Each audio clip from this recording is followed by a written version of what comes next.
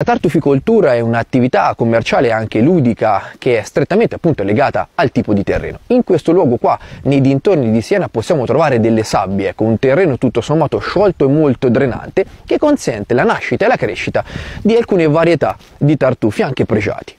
Dobbiamo sapere che il suolo si divide in orizzonti, sono degli strati che si propagano in profondità, l'orizzonte O è quello più superficiale, quello proprio a contatto con le radici delle piante su cui nascono queste prelibatezze culinarie. Ovviamente abbiamo bisogno di un amico che poi ci aiuta, ovviamente il cane. Siamo fortunati nella zona di Siena perché abbiamo più o meno tutti i tartufi, quindi a partire dal più importante tartufo bianco, conosciuto come bianco delle crete senesi, o bianco di alba o di acqualagna, anche a Siena abbiamo il tuber magnatum pico, eh, che è appunto quello più importante al mondo.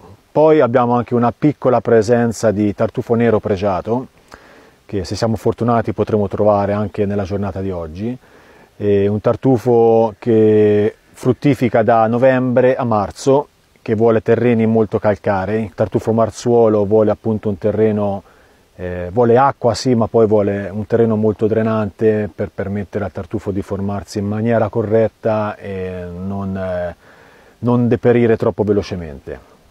Alessandro ha preso Moca in collo, ha preso in braccio perché ci spostiamo di qua, andiamo in un altro luogo nella periferia di Siena. È stata bravissima, eh? Sì, sì. Ma spettacolare. Siamo divertiti abbastanza. Una ricerca al tartufo fantastica, quindi andiamo a scoprire se ne troviamo degli altri.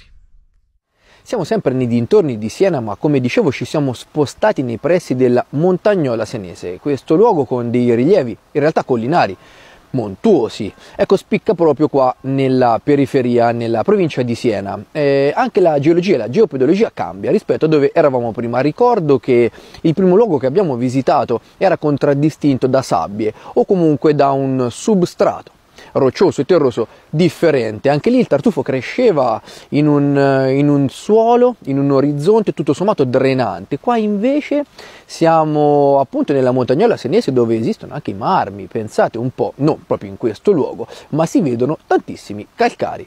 E quindi qui abbiamo anche il calcare cavernoso, questa roccia di origine sedimentaria, ovviamente che poi lascia i suoi resti eh, alterati un po' in giro. Qua ci sono queste cosiddette terre rosse, un po' di argilla, e quindi un contesto molto molto particolare su cui poi si ritrovano ovviamente anche questi funghi ipogei. Dov'eri? Guardaci un po'.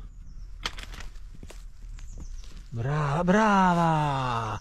Guarda, un nero pregiato, brava! Un nero pregiato. Ora siamo stati fortunati, eh? Bravo. Brava Moca.